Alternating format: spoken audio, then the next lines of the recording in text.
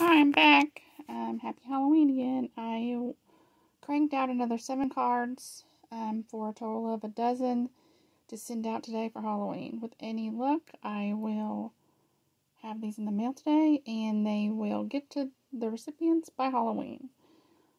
Um, it caught up with me, so I was thinking I would do more detailed cards, but went with simpler ones so I could get them done because I was like, it is getting to be the time to send them out. So let's get into what I used to make these cards. I used again this penny black um, woodblock stamp from 2005 called, what is it called? Ghostly Night that I previously shared. I used Taylored Expressions hand lettered Halloween. I used a Eventful Halloween again. I used the Tim Holtz die set, which I think is called Ghost Town number two, previously shared.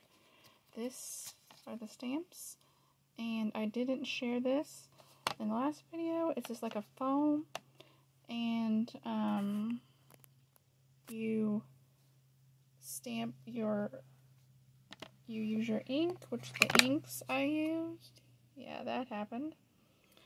So, it's fine. Um,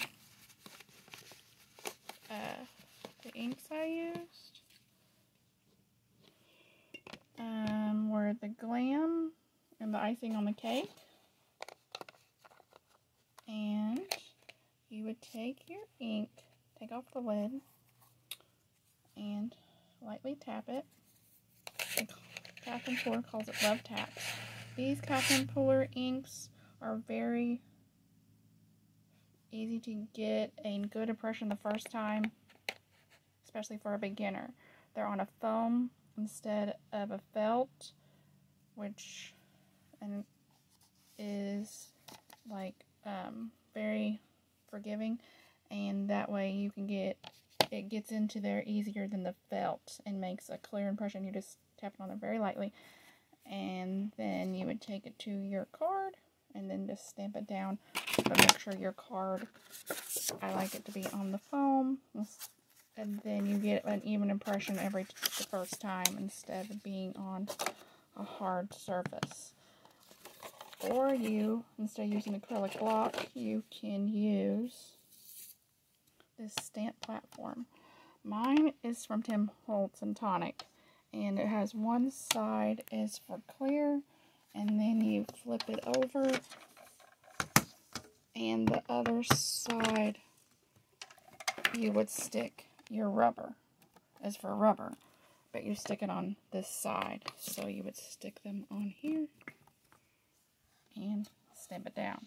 And then you can stamp it on there as many times as you want to get a clear impression like I said this Catherine Pooler ink I find it's very easy to get a clear impression the first time. I also ran the dies through my sidekick. It's easier for little dies than getting out your big, big shot die, die cut machine. And you can see how well my plates for those have been used.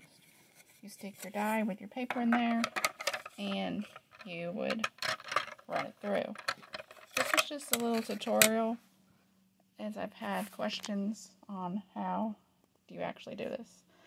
It is quick, um, little tutorial until I can get you a better video.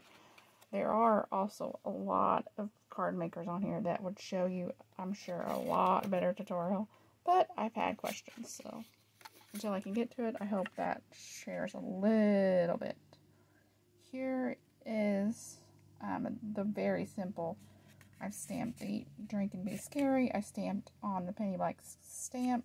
Then die cut just three of the die cuts out and then stamp the inside. I have I had made seven of these. All the same. Um, took about an hour and a half, I think. So not very long to make seven cards. I had previously shared this one.